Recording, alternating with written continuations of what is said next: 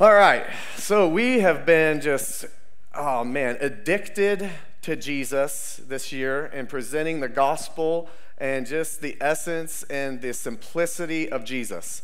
And, and, and honestly, like we've been just keeping it simple. And, and I think sometimes that, that is the beauty of the gospel, that it is, it is so deep and it is so complex and it is so mysterious and so fun and so powerful, but yet so simple. And, and I love the gospel and I, I love the kingdom. I, I love how, how God will challenge the most intellect, the most, the most gifted people, right? And pull them in to discover the mysteries and, and to search out the word and, and, and, and to search this, this out and, and who Jesus is, right? But yet the littlest children get it. The most simple minded people get it, right? And, and that's the beauty of the gospel is that no matter where you are in your faith journey, no matter where you are in age or, or whatever it might be, the gospel is for us. And it's beautiful and it's amazing. So, so my dad, he, he kind of kicked us off into the Holy Ghost, the Holy Spirit uh, um, context a couple weeks ago. But last week I started just a two parter. And, and last week was Life is in the Blood and talking about the blood of Jesus, that life, literally life, is in the blood. So today is the continuation of that, like I had promised, and says, power, the power is in the Spirit. And, and we're going to just hone in on that. And, and it is Pentecost Sunday. And those of you who don't know, like, this is like Christmas morning to kids if you're in a charismatic, Pentecostal rooted uh, church that believes in gifts, Holy Spirit, right? Like, this is like Pentecost Sunday is like Christmas morning to some kids. It's like, yeah, we get Holy Spirit, right? We want to present it today in a way that even, even people that might not be as educated or familiar, Nicole, my wife that was up here, she, she grew up in a church that, that was Bible based, a good church, right? But never spoke about Holy Spirit, never mentioned Holy Spirit. So we, we want to make sure if it's in the Word, we're, we're preaching it.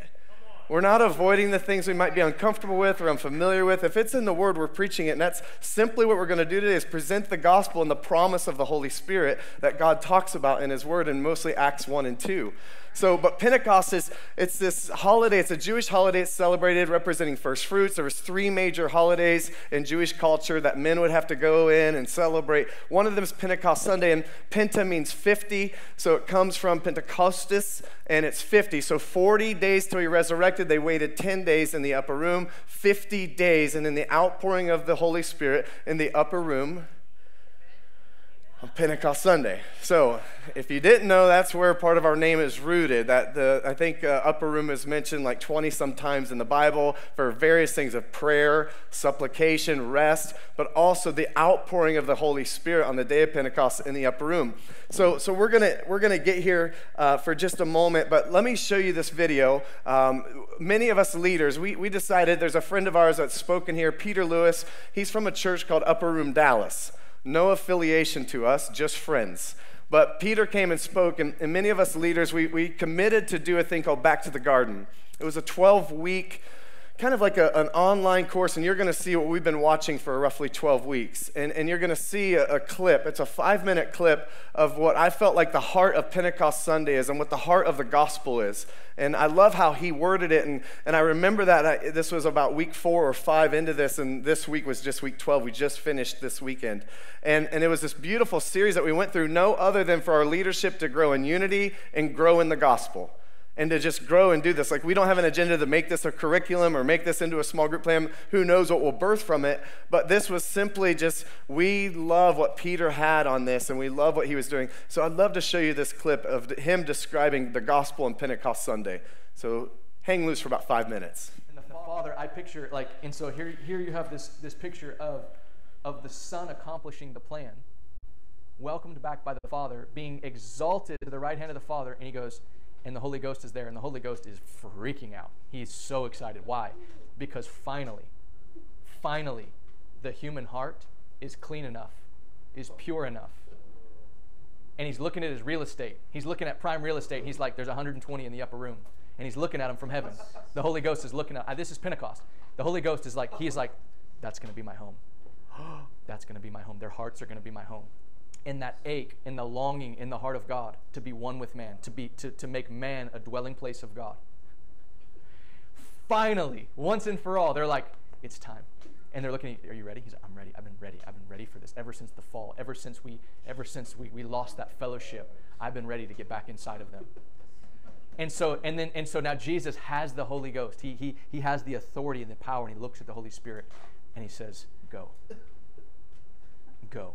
Take them. Take possession of their hearts. Those blood washed hearts, I took their hearts. I scrubbed them so clean. I took out all the sin, and I made it this prime, this prime dwelling place for you, Holy Spirit. No longer are you going to dwell in a box made by man. I made that heart, the creation of God, the image of God is being restored to humanity. They're going to look like my children again. They're going to look like my kids again, no longer molested and defiled and perverted by the devil, no longer under deception, no longer blinded and deceived and twisted and perverted, but pure, holy, blameless sons and daughters of God. That's Pentecost. That's Pentecost. And the result of God dwelling in our heart is power. Why? Because God lives in there. That shouldn't be hard to wrap our minds around, right? Right? That's not hard to, like, I'm surprised we don't blow up. More people should, if we really understand Pentecost, we should, the first thought should be, how do we not blow up? Then you have to understand, well, well, man, God, if I don't blow up and die, then you must have really cleansed me. Can you imagine the Holy Spirit? He's holy. There, you can't get any more holy than holy, the holiness of God. Stay with me. The holiness of God, the very substance, the Spirit, the Spirit of God is not a, he's a person. He's not just a form or a substance, but he, he is substance, but he's not substance like, like us. He has a substance and a form that's of God, and he's not a, he's not a non-entity. The Holy Spirit is more real than this Bible. It's more real than this ground. He, he's real. He's God himself. He's not a lesser version of God. We know that, right? So, how can it be? How, how can we imagine? How can a Christian with a sinful nature, if we still have a sinful nature, how can God of gods, Lord of lords, the very Spirit of God Himself, come and make Himself one spirit with me? And, and I not die? Not be consumed in a moment. You can't have it both ways. You're either a temple of the Most High God or you're a sinner. You can't have it both ways. My, the Bible says, and we're going to look at this, that we have become, our bodies have become temples of the Holy Spirit at Pentecost. It's a massive revelation. And the reason why there's confusion and division, and, and even today, I think a lack of power in the church, is because we don't have this, this understanding, this revelation. It's not been included in the gospel, and we have not absorbed the weight and the magnitude of the heart of God in Pentecost, the why behind it. It's been trivialized. It's been trivialized as some extracurricular encounter or mocked or minimized. People are still mocking Pentecost. And I look at Pentecost and I'm going, this cost Jesus everything. You don't have the gospel, you don't have a Christian without Pentecost. You don't. Because that was the purpose for which he did all of the other work in, as Messiah. E- let me even make this point. We have chosen, the church as a whole has chosen Easter as the gospel preaching day. Nothing wrong with that. Preach the gospel, uh, at Easter. I love that. The problem is, biblically, just, just as a type or as, a, as an example, as a pattern, the gospel wasn't preached on Easter in my Bible. It was not preached by man on Easter. It, the first time the gospel was ever preached was on Pentecost. Why? Because there was no Holy Ghost to empower them to preach the gospel. Oh my goodness. So why? So we, it's like we it's we preached it at halftime. The, like the resurrection was halftime in a sense. Like it wasn't the story wasn't up yet. Uh,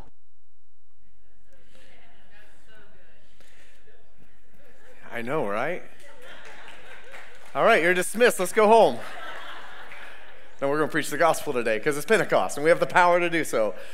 Man, I love that clip. And, and I was like, man, it was like we stopped at halftime. And, and I just want to continue on because let me just say this is the Father's heart. The Father's heart is the fullness of the gospel, not just stopping at crucifixion, not just stopping at resurrection, but the promise of the Holy Spirit, and not just, not just stopping at Holy Spirit. Not just, it, there is a promise of His return. There is a promise of His return for eternity. This is, this is a beautiful thing to, to us believers. We, we get to look forward to an eternity with the Father. We, we not only get to be empowered and have a heaven ticket for eternity and be empowered by the Spirit, we get to look forward and have a joyous hope of His return. Whether we get our upgrade some other way or He returns, we get to spend eternity face to face with the Messiah, with the Creator, with the Father, with, like Baylor said, the Comforter, the guide, the friend, the encourager. This is who we get to spend eternity with face to face for all of eternity. And it's never going to get boring, old, or dumb.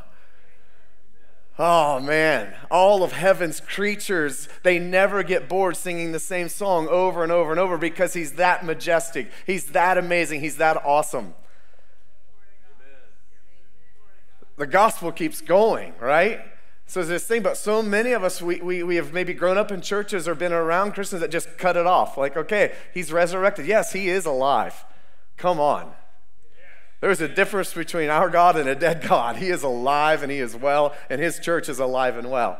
So, so there's that's part of the gospel. This is the gospel. His Holy Spirit is part of the gospel. And, and let me just go to Acts 1 1. Now, now, let me just give you a little history here. Actually, Luke wrote it's in most, if not all, of Acts. So, Luke, this is a continuation of his gospel. Here's how it says it in Luke in, in Acts 1 1. It says, In my first book, I told you Theophilus, about everything Jesus began to do and teach. So Acts is a continuation of now he is resurrected, now he has returned. You have seen him after 40 days. He appeared to us and he's going through Acts 1 here. And now now he's promising Holy Spirit. Now he's promising an outpouring of the Holy Ghost, right? He's promising his return. And as last week we kind of went into Acts 1 and we talked about the cleansing of his blood. We talked about the promise of Holy Spirit and we talked about these things. So here we're continuing on because Luke is even saying this is a continuation. I began to, to, to explain to you and teach you guys what Jesus began to teach. Now I'm continuing to say the story's not over yet. So, what happens is they go and they, they wait in the upper room. They take care of a little business and they wait there, and then Acts 2 happens. But first, Acts 1 4, it says this. It says, because Jesus said, Go wait. Once, when he was eating with them, he commanded them, Do not leave Jerusalem until the Father sends you the gift he promised, as I told you before. So now we get to Acts 2. Now here it is. Just surprised we don't blow up. I love that part. On the day of Pentecost, all the believers, I'm going to read all of Acts 2. Is that okay? I'm going to just break it down. We're going to read it. And, and, i and I love how Peter, not this Peter, Peter in Acts 2 shares the gospel of Jesus to the early church. On the day of Pentecost, all the believers were meeting together in one place. Suddenly, there was a sound from heaven like the roaring of a mighty windstorm, and it filled the house where they were sitting. Then, what looked like flames or tongues of fire appeared and settled on each of them. And everyone present was filled with the Holy Spirit and began speaking in other languages as the Holy Spirit gave them the ability. At that time, there were devout Jews from every nation living in Jerusalem. When they were heard the loud noise, everyone came running, and they were bewildered to hear their own languages being spoken by the believers. They were completely amazed. How can this be? They exclaimed. These people are from Galilee, and yet we hear them speaking in our own native languages. Here we are, and it lists all the areas that they were from. And it says, And we will hear all these people speaking our own languages about the wonderful things God has done. They stood there amazed and perplexed. What can this mean? They asked each other. And it says, But others in the crowd ridiculed them. Somebody mentioned earlier, like, like we are, people are still, or Peter just mentioned, people are still ridiculing the day of Pentecost. I find it easy to, to point at things and not trust things that you've not experienced. I find it easier to be a spectator and, and, a, and, an armchair quarterback on the things we haven't experienced. Let, let me briefly share my story. For some of you who may not know some of the story, I mentioned it last week. My, I was raised by, by pastors. I, I was raised in a, in, a, in a denomination that was solid in Holy Spirit and, and, and, and the works of Holy Spirit relational things happened that I saw at a young age, around 12, and I said, you know what? That's, that's, that's not for me. And I turned my back and started in, a, in an alcohol and pornography addiction from the age of 12 all the way to my mid 20s. I turned to basically agnostic, atheist kind of thing to not believe in God. So obviously did not believe in the gifts because in my experience and what I was seeing from my perspective, they were being abused. And, and, and I was seeing people do get operate in gifts, operate in tongues, operate in interpretation of tongues, all these things, right? And then telling racial jokes or, or, or doing these things behind the scenes that were certainly not the love of God. So, so turn my back. Now, now what happened with me was it was it was this crazy thing that that where Nicole and I decided to. Uh, Nicole was serving in an upper room back when it was on Fourth Street, And, and I was just there because I was being married to Nicole. My dad had planted a church, and I figured, well, I'd at least honor him and attend. So I was playing drums, mostly hungover, and showing up. And, and my dad said, hey, why don't you go to this church in Indiana? I, I hear they're doing some pretty cool things because Nicole and I said, you know what? Wednesday night Bible study is boring. Let's start a youth group so these kids don't have to suffer and we don't have to suffer. So the two youth members and us started a youth group. And, and then my dad sent us to Indiana. Now, this was a total setup from God. In that moment, I didn't even believe in God. I was like, no, it's just a control system to make people be good. And this was all just a good literary to make people act good and keep people in line in our culture. And I show up at this church and they pull us to the front and they said, out of honor for Greg Simmons, we, he, we've got some guests here, and we're going to ask them to come up to the front. And their entire church surrounds us and lays hands on us. Now, I didn't believe in any of this stuff. I was one of those people saying, they must be drunk. They must be idiots. This is what is this show, right?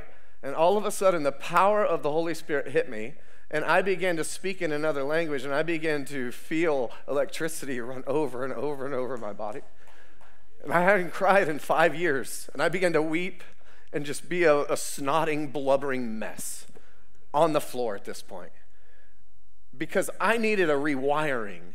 There was something that was ingrained in my heart and my head that was the lies of the enemy, that was not God. Now, we are not trying to force anything on it. This is not a story of the haves and the have nots.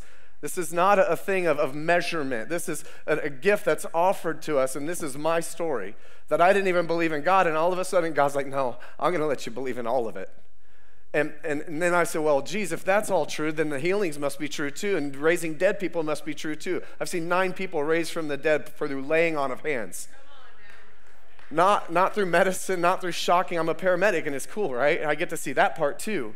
But through, through the laying on of hands, I've seen radical stories of healing. I've seen, I've seen broken arms literally straighten out through the power of prayer. We've seen scoliosis here healed, cancer tumors fall off and dissolve in an instant.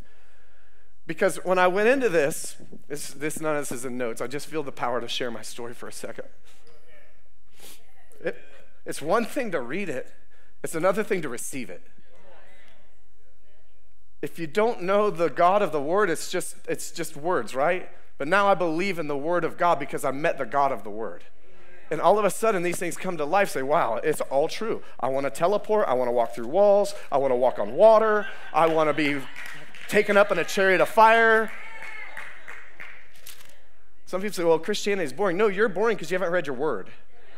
Because then all of a sudden, it was like the scales were removed. And I'm like, it's all true. This is amazing. I had to experience it to believe it. I had to receive it to believe it.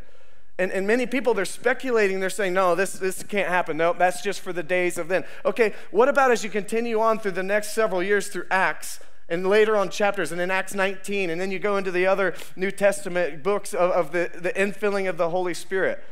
No, it wasn't just for that one day of the day of Pentecost, it's continued on after that. The, the, the healings didn't stop when Jesus left the earth. Read your Bible.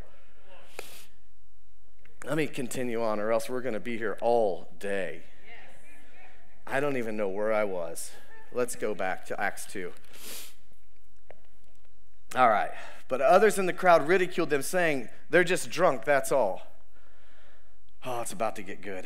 Then Peter stepped forward with the 11 apostles and shouted to the crowd, Listen carefully, all of you fellow Jews and residents of Jerusalem, make no mistake about this. These people are not drunk, as some of you assuming. Nine o'clock in the morning is much too early for that. Now, no, what you see was predicted long ago by the prophet Joel. Now, here comes some fruits of the Holy Spirit. Joel 2 is what he's referencing. In the last days, God says, I will pour out my spirit upon all people. Your sons and daughters will what? Prophesy. Your young men will see visions. Your old men will dream dreams. So we get to prophesy, have visions, have dreams.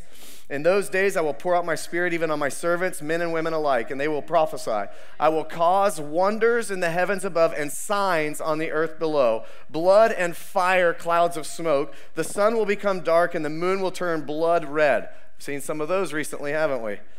Before the great and glorious day of the Lord arrives. Here's the promise of the return.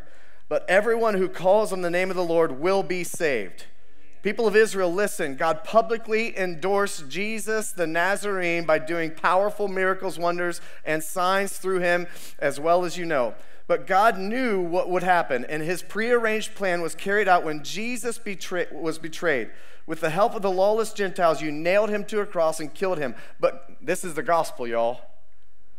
But God released him from the horrors of death and raised him back to life, for death could not keep him in its grip.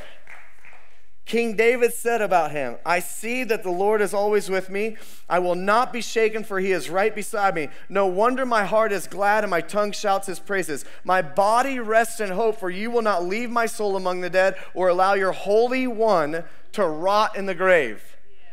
You have shown me the way of life, and you will fill me with the joy of your presence. Dear brothers, think about this. You can be sure that the patriarch David wasn't referencing to himself for the died, for he died and was buried, and his tomb is still here among us. But he was a prophet and knew God had promised with an oath that one of David's own descendants would sit on his throne. David was looking into the future and speaking of the Messiah's resurrection. He was saying that God would not leave him among the dead or allow his body to rot in a grave. God raised Jesus from the dead, and we are all witnesses of this. Now he is exalted in the place of the highest honor in heaven at God's right hand. And the Father, as he had promised, gave him the Holy Spirit to pour out upon us, just as you see and hear today. They're not drunk, it's 9 a.m. That's far too early to be drunk. Even though it's 5 o'clock somewhere, it's 9 a.m. here. Just as you see and hear today. For David himself never ascended into heaven, yet he said, The Lord said to my Lord, Sit in the place of honor at my right hand until I humble your enemies, making them a footstool under your feet. Now, come on. How many know you have some dominion and power under your feet? Another reference that you will crush Satan under your feet.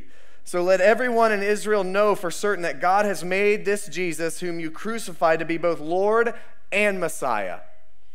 Peter's words pierced their hearts, and they said to him and to the other apostles, Brothers, what should we do? Imagine that gospel message being preached with the power now of the Holy Spirit. Now, now watch what happens. Peter replied, Each of you must repent of your sins, turn to God, and be baptized in the name of Jesus Christ for the forgiveness of sins. We start growth track today. So that means in four weeks we get some baptisms. You repent, you ask Jesus into your heart, you receive the gift of salvation, you get baptized. It's awesome. We're, we're just right on time here. We'll baptize you today if you need it. We'll figure it out. We'll go down. We got a pool, we got a river, it, it'll work then you will receive the gift of the Holy Spirit. Now, come on. You get saved, you're believers, now you receive the gift of the Holy Spirit. This promise is to you, to your children, and to those far away, all who have been called by the Lord our God. Then Peter continued preaching for a long time, much longer than I today, strongly urging all his listeners save yourselves from this crooked generation. Now, now here's, here's some cool fruit. These were the first fruits of Pentecost. Those who believed what Peter said were baptized and added to the church that day about 3,000 in all. With the power of the Holy Spirit and the gospel being preached, all of a sudden people were just like, Yes, I want that. Now, here's what happens. I love the fruit of the community of believers coming together now. Because let me just say, God doesn't just stop at, at people getting saved and doing their own thing. There's a family, there's a community. There, there's a body that now we get to encourage one another. We get to pray for one another. We get to be there for one another. All the believers devoted themselves to the apostles' teaching and to fellowship and to sharing in meals, including the Lord's Supper, and to prayer. A deep sense of awe came over them. All the apostles performed many miraculous signs and wonders. I love being in a church that we believe still to this day in signs, wonders, miracles. And all the believers met together in one place and shared everything they had. They sold their property and possessions and shared their money with those in need. We, we only ask for 10% here. We need to sell everything. We're not going to live in a compound here. God only asked for 10%. Some people are arguing, well, that's Old Testament. All right, you want the New Testament version? Here you go. Sell it all, give it to the church. They worshiped together at the temple each day and met in homes for the Lord's Supper and shared their meals with great joy and generosity. Now, come on, this is the fruit of the embodiment of the Holy Spirit in community joy and generosity. They worshiped together, they prayed together, right? They had unity.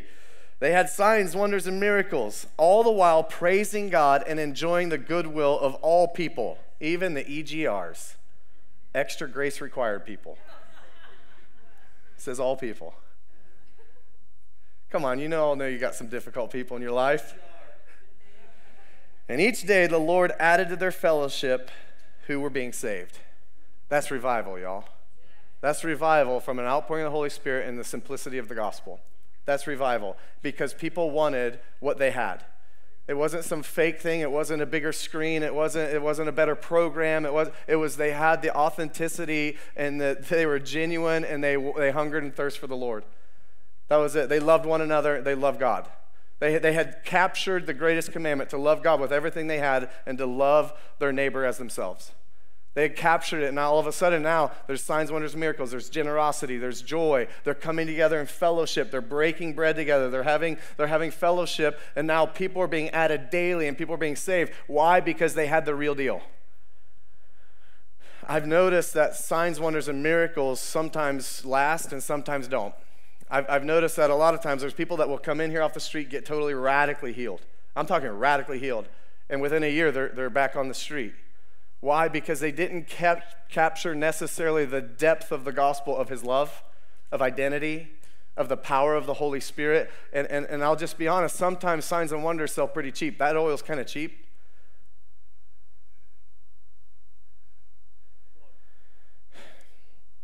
When I started seeing he- a lot of healings, I began to worship it and forget who was the healer. And, and when, when I, and I started to honestly get a little arrogant about it, like, oh, wow, I've seen a thousand healings now.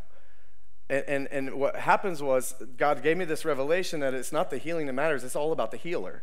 And a, and a sign or a wonder or a miracle is literally just the love of the Father revealing himself in that manner to that person the way they need it in that moment.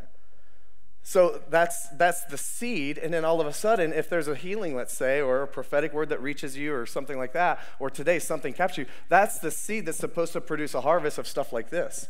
That's a seed that's to produce a harvest of, I want to go deeper in the Lord. I want to experience the fullness of Him. I want to grow closer to Him. I want to be in communion with Him. I, I, want, I want to worship Him. I want to grow deep and get rooted in relationship. So, so it, it's kind of like dating for the wrong reasons, if you catch what I mean.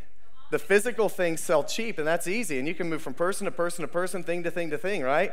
But, but when you get the love involved, all of a sudden there is a sustaining relationship that's rooted and grounded in love. All right, I'm talking about Holy Spirit. Let me get back here. That's, that's my old dating stuff when I was a youth pastor. Acts 1 8. Let's, let's go there. Let's move on here. I'm going to ask Baylor and the team to start making their way up.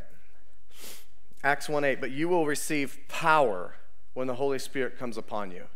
Now, now there is there is this there is Baylor was talking about when you ask Jesus in your heart, the Spirit comes in you. The Holy Spirit dwells in you. Okay, let's get that very clear. That he can't dwell in an unclean vessel. You get clean, he dwells in you, and, and there is there is a special thing there of intimacy and relationship with the Father. Okay? When you accept Jesus, he dwells in you. What we're talking about here, I want to talk about the baptism of the Holy Spirit when he comes upon you. There's in you and upon you. So, but you will receive power when the Holy Spirit comes upon you. Now, if you remember last week, we referenced this was a group of believers. They already believed in Jesus. The 120 were already believers. Now they are waiting for the Holy Spirit of an outpouring and an infilling. So there's a difference because the Holy Spirit in you is for you, the Holy Spirit upon you is for others. So Acts 1 4 says this once when, we were, once when he was eating with them, he commanded them, Do not leave Jerusalem until the Father sends you the gift he had promised, I told you before.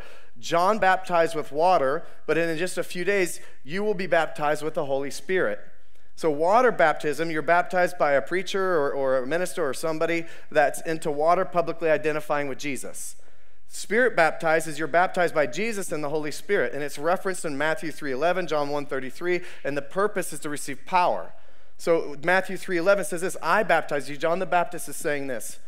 I baptize you with water for repentance, but after me comes one who is more powerful than I, whose sandals I am not worthy to carry. He will baptize you with Holy Spirit and fire. Last week I, I referenced my story about being baptized in fire. I had no idea what it was. I had never read it in the Bible. I, I didn't understand what it was. A, a, guy by the name of Jonathan Miller at a youth camp called, it, called us out. He's like, you, uh, You're going to be, the Holy Spirit's going to baptize you in fire. I raised my hands, and all of a sudden, fire came from the tips of my fingers all the way into my heart, and it felt like I was burning, like I was literally on fire. And I just melted in the presence and the power of Jesus. I was like, I don't know what just happened, but I liked it and it was cool. Let's go. Ephesians 5:18 says this, don't be drunk with wine because that will ruin your life. Instead, be filled with the Holy Spirit. The original text in that is translated to a present tense, a continual tense, and now. So, so sometimes we, we get this thing, so, well, well, I was filled back this many years ago. I was filled with the Spirit, or I, yeah, that's great. So, what's been your continual relationship? I, I can't just tell Nicole once that I love her and I'm done. Like, okay, good, we're good for the rest of our lives. No, we, we need that continual affirmation, that continual connection, that continual intimacy and encouragement. And how are you? Last night, we, we hadn't connected much. It's been a busy, busy season. And I was gone yesterday working at the fire department a couple different times for the, fire, for the Strawberry Festival. And Nicole was gone with the kids working the Strawberry Festival booth. So finally, last night, I was like, You want a campfire? It's like 10 o'clock at night. She's like, Yeah. I was like, and then the kids like, can we come out? We're like, no, inside now. We sat there and talked like, hey, how was your conversation with your dad today? I, you know, and how, what, what did you, you know, what happened in your day? We were connecting. There was this, our hearts were being filled up with each other's love because we cared enough about each other to ask and to share and to talk. What are your challenges? What, what was the hardest thing of your day today? What do we got going on tomorrow? It's this connection time. It's the same thing of, of I don't want this one and done. I want this continual communion with the Lord, this continual relationship with Holy Spirit. As Peter said, Holy Spirit's a person. It's not this mystical, far off thing that's scary and weird. No, it is the third part of the Godhead. Father, Son, and Holy Spirit. We and so many churches avoid the third, a third, 33 and a third percent, whatever, of, of the Godhead. It's not some weird, kooky, weird thing. No, He is intimate. He is a comforter. He's a guide. He's a friend. He's an encourager, and He's power. Let, let me, let me wrap this deal up here. One of the common signs in, in, in Acts, specifically Acts 2, obviously, Acts 10, Acts 19, was, was outward tongues when there was a baptism or infilling of the Holy Spirit, there was, there was outward tongues, and five times this happened in Acts. So there's a common sign, but it's not the only sign. Let, let, me, let me just be honest with you. I feel that there's fruits of the Holy Spirit that are listed in Galatians 5 that we should also be operating. If the Holy Spirit is filling us, we should be operating in love, not just tongues. Like, like tongues is, is great, and we don't ever want to minimize that as a sign and a, and a gift, right? But you can have tongues, but if you're not operating in power or love or kindness or gentleness or joy, then what's the point of the Holy Spirit? I mean, uh, just to be really honest with you, the other thing is Acts 1 8, but you will receive power when the Holy Spirit comes upon you, and you will be witnesses. You will share with others. You will tell everybody, and, and it lists these areas in Jerusalem, Judea, Samaria, and all the ends of the earth. So, so it's this cool thing that the Holy Spirit also has this, this power, this the presence, and the purpose. That, that there's this power. You will receive power when the Holy Spirit comes upon you, presence, and you will be my witnesses and share with everybody everywhere. It's, it's this cool thing of like you will operate in power. That's, that's a sign. You will have his presence. In his presence is the fullness of what? Joy. You'll have joy, and you will be essentially the first ordained evangelist, is what he's saying. Purpose. You'll be my witnesses. These are signs. Like, I, I don't know about you, when I receive a gift, I like to share with the people around me that might find interest in that. When I started smoking meat, by the way, last week's meat turned out great. For those of you who were wondering, because we went a little late in service and I my temp was rising on my phone and I had to get back because I still have to have to stoke the fire and do the old school method. I don't have those auto feeders like some of you fortunate people. and lazy people. No, I'm just kidding. Right, Jared? So when I got this smoker, Matt Buer gifted me this smoker that he no longer uses because he upgraded because he was gonna graduate to being an auto feeder. I sent, I started sending pictures of these meats and the smoke and asking questions about Tim. And I, and I started seeing, like, I'd cut that and, like, look at those burn marks to all of my friends that I knew smoked meat. All of them. I created a, a, a text group. I was like, look at this, guys. It's the same thing. When we receive something, when we receive the gift of salvation, when we receive a miracle, when we receive the gift of the baptism of the Holy Spirit, we should be telling people and be his witnesses in Jerusalem, Judea, Samaria, and all the ends of the earth. It's the same thing. If you received a, a, a, an incredible um, progress in, in, in, something medical and you went to a doctor and got treatment and was healed or whatever and, and, and had this success or had this great chiropractor that you had back pain, now you're totally free of back pain, you're going to say, You need to go to this person. And then you call and they're no longer accepting patients and then you're mad. It's our chiropractor. Sorry, you can't go to her. So, but anyway, there, that's the thing. So, to be his witnesses, so that is also a sign that we've received something powerful, that we've received something good, is that we get to be witnesses. Last thing is the fruits of the Spirit, like I mentioned, but I want to read them Galatians 5 22 and 23. But the fruit of the Spirit is love, joy, peace, patience, kindness, goodness, faithfulness, gentleness self control. Against such things, there is no law.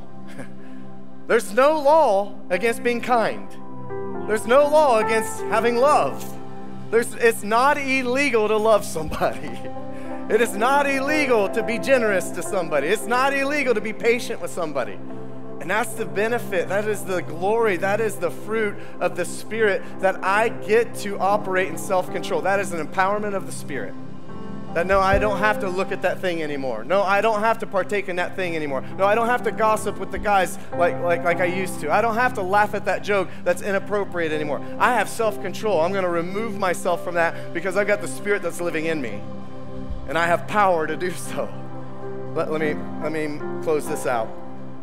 So, the baptism of the Holy Spirit's a gift. The Holy Spirit is a promise. The baptism of the Spirit is a gift. It is not a have and have nots. It's not a measurement tool. It's not this thing to where, well, I'm better than you. No, it's like, man, at first I was operating before that with, with just a hand screwdriver. Now I get the power drill. Come on. Faster, better, more powerful. So, why don't you stand with me? Honestly, Baylor already offered the invitation that if you wanted a comfort or an encourager, a friend, well, I'm going to offer you the invitation if you want baptized in the Holy Spirit. I, we were at a, a, youth conference in the winter several years ago, and Reinhard Bonnke, if you've not heard of him, you need to look him up. Just one of the greatest evangelists of all time. Reinhard Bonnke was there speaking, and he has a gift to, to, to impart through the Holy Spirit, the baptism of the Holy Spirit. And and, and he's like, if anybody wants to receive the baptism, we're all sitting on the floor in this huge call in this huge conference center or whatever, probably six or ten thousand teenagers there. And if you want to receive the baptism of the Holy Spirit, just stand up. And we had a few of our kids just stand up. We're like, okay, cool. And he's like, and he tells this story about, I think his grandfather or somebody laying hands on him before he died, or an uncle, maybe it was an uncle. And, and all of a sudden, it was just like, all right, we're just going to pray this prayer, and if you want to receive the baptism of the Holy Spirit, God will give you a sign. You'll begin to speak in another language, and you'll receive the gift of the baptism of the Holy Spirit. And it was just so effortless. It was so casual. And I think 100% of the kids that we had there that stood up received the baptism of the Holy Spirit in that way. It's funny. I was like, man, that's not how I grew up. People yelling at you. say this, no, say this, don't say anything. Ay, ay, ay, ay, ay, ay, ay, ay. Thought this was a gift. I don't want to tarry for it. No, tarry, don't tarry, tarry, don't tarry. Beg for it, don't beg for it. Say, yeah, say, just say Jesus. Don't say anything. This feels like it's not a gift. I feel like I need to earn this, but I don't know what you're saying and I don't know what to do. Listen, it's never intended to be that. Listen, maybe you desire it today and you walk out of here. Um, man we had, uh, the guys are to laugh. We, we, I had kids in youth group. They're like, I, I want that. And Michael was getting so frustrated. We're like, Michael, man, chill out. It's a gift. He's to give it to you. Just relax, man. Just, just receive it. But I want it now. And he gets so violently mad about it. I was like, man, that is never the heart of this gift. The heart of this gift is love. It's empowerment. It's grace. It's goodness, right? So, so we'd have these kids, and they, they, they pray, and like, I remember Heath's story. He's like, I woke up one night, and there was like this fire in my belly, and I didn't know what to do, and then boom, he was baptized in the Holy Spirit in your bed, right? Was in your bed. We had another kid on the toilet. He's like, oh, so I was on the toilet, and I just prayed. I was praying to God. I want the baptism of the Holy Spirit, and right there on the toilet. like, okay, God, whatever. I, I, I can't wrap my mind around any of this anymore. So, so here's the deal. We're just simply going to raise your hand. If you want the baptism of the Holy Spirit, we're just going to pray and ask Holy Spirit to pour in here like the day of Pentecost, like a mighty rushing wind. And maybe you'll receive it instantaneously right in this moment. Maybe it'll be tonight in your sleep. Maybe not on the pot. Maybe so. I don't know. But either way, it is a beautiful gift. It's empowerment. And, and I believe the Holy Spirit is, is here today just as much as he was 2,000 years ago, pouring out the same gift. His, his, it's amazing that people that are uncomfortable and like are weird about this, they're like they'll, they'll, they'll sing these songs right that we sing and, and they'll, they'll quote these verses. He is the same yesterday, today, and forever. Well, then he still heals, he still delivers, and he still pours out the baptism of the Holy Spirit with evidences. And there's still gifts in operation. The Bible says, seek after all the gifts. It says, and it, and it really translates to earnestly desire them seek after them, desire them, want them with a fire. Like, I want all the gifts. Matthew 7 11 says this If you then, who are evil, know how to give good gifts to your children, how much more will the Father who is in heaven give good things to those who ask him? So today, all we're going to do is ask. I asked the Holy Spirit, I said, Holy Spirit, you just come through and sweep through. And people who want it just receive it. That's it. That was my prayer this morning throughout this week. It was like, Lord, we're not going to make a show of it. It's those who want it, just receive it. So if you want the baptism of the Holy Spirit, we just raise your hand. Maybe you need a fresh infilling, like Baylor said. It's a fresh infilling. We're just, all we're going to do is cry out to the Lord and just ask Him. So in your own way, just ask Him. Bible says if you ask anything in His name, He'll do it. So Holy Spirit, we ask for a baptism of your spirit right now, baptism of spirit and fire. We ask for an infilling in Jesus' name. Holy Spirit, sweep through this place and those who are encountering you online right now. Lord, with power. We ask for the infilling of the Holy Spirit with tongues and power, with the fruits of your Spirit, Jesus. If you're around one of those people with their hand up, just, just put a hand on them. Just begin to ask for the Holy Spirit to fill them. Fill us, Jesus. Fill us, Holy Spirit. Fill us, Holy Spirit. We thank you. We thank you for the gift of the baptism of your Spirit. We thank you for the power that when your Spirit comes upon us, we have power. Thank you, Jesus. If you begin to feel something, just rise up, just let it out. If you begin to feel something that just is so to the point of overflow, just begin to release that. Just begin to release that sound. Begin to sing in that sound. Yes, Lord. Thank you, Jesus. More, Holy Spirit. More.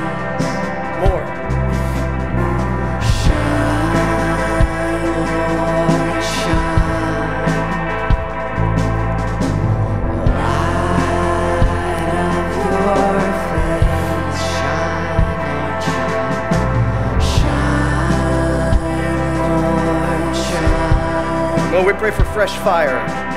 Fresh fire, fresh anointing, Jesus. Fresh purpose, fresh power. Lord, fill us with your presence. Lord, we thank you for your spirit. Holy Spirit, we thank you.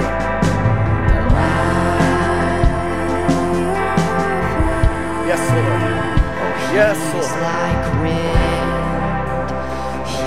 The Bible says to, to pray in English and pray in tongues. It says to sing. Paul says to sing in tongues and sing with understanding. So right now, feel free to do either. Feel free to pray and sing in, in the spirit if you wish. Maybe God just gave you a new gift. It's like any language. We need to learn that language and exercise that language. Thank you, Jesus.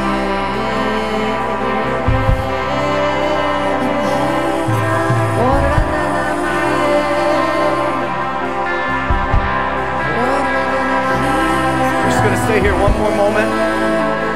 Yes, Lord.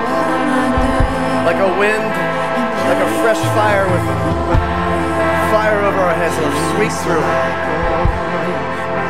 Oh, he's like Thank you, Jesus. he's like